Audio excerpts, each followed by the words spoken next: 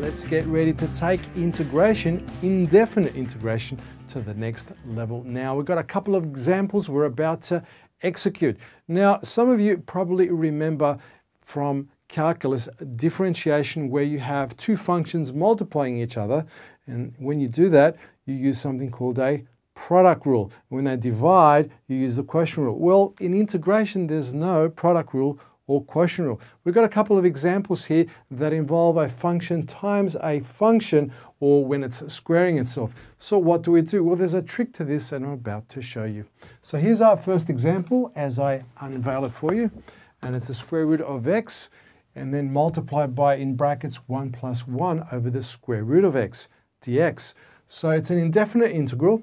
So we can't use the product rule because there is no product rule. So what you do is you simply expand and then integrate each individual component separately and then you'll get the actual integration. So let's go about doing that now. So let's start off here by expanding. We're going to multiply the square root of x times the 1 and the square root of x times the 1 over the root x. So let's do that. So the first part will be the integral of the square root of x plus multiplying, that will be square root of x over the square root of x dx.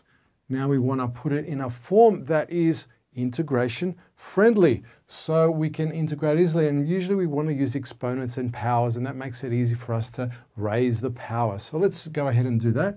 So it's going to become the integral of x to the power of a half plus 1 dx. Now that's integration friendly. It's very suitable now. So let's start the integrating. Now remember here what we do with the power, we increase it by 1. So 1 plus a half is 3 on 2, isn't it? So that's going to end up becoming x to the power of 3 on 2. And then we divide by that also. So it's divided by 3 on 2. And then the integral of a constant, a number, simply you just add the x to it. So that 1 transforms into an x. And of course, we add the integrating constant over there. So there we have it. Now let's further simplify it so it looks like a nice, clean, easy to read function. So we got to the power of 3 on 2, which means it's going to be the square root of x cubed. So let's go ahead and write that out. So that will be the square root of x cubed. And that squared, that little 2 is actually in there, square root. And we flip the 3 on 2 upside down because we're dividing by it. So that'll become 2 thirds. So it's 2 over 3. Okay, and then we bring down the x, there it is, and the constant.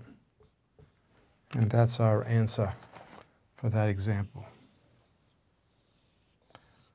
Let's try another example. Up here, this one is when it's multiplying by itself. So we have in brackets 3x minus 6 all squared. So what do we do? Well, there's no product rule. We're going to what?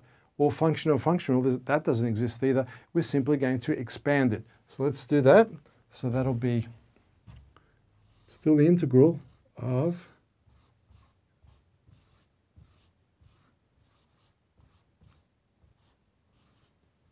Okay, so let's expand that. That's going to give us an answer of 3 threes, that's 9x squared. So it's the integral of 9x squared. And then we have minus 18x minus 18x. And then 6 plus 36. Let me just put a demarcation here, a boundary. Okay, so let's further simplify that. So that's the integral of 9x squared minus 36x plus 36. So that's what we're looking at integrating. Let me just put the dx there. So that's what we're going to do. Now all you have to do, now that you've expanded it, is individually take each component and integrate it. So let's do the first part over here. So let's raise the power. It's 9x squared. Let's raise it up. That'll be 9x cubed on 3 minus 36 x squared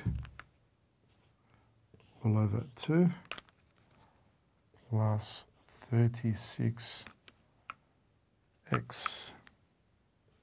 And let's not forget the constant, so that'll be a plus c here. Fix up the little fence there, little boundary. So there's that. Now we just uh, simplify the numbers down there below. So that's going to give us 9 divided by 3. The answer for the integral to this question up there is going to be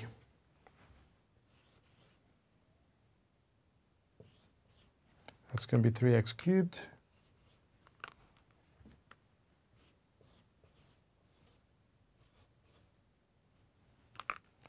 Eighteen x squared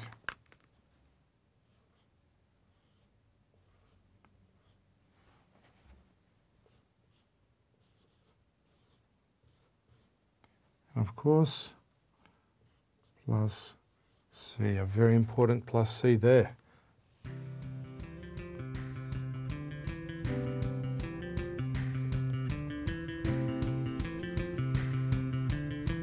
Well, there you have it, guys.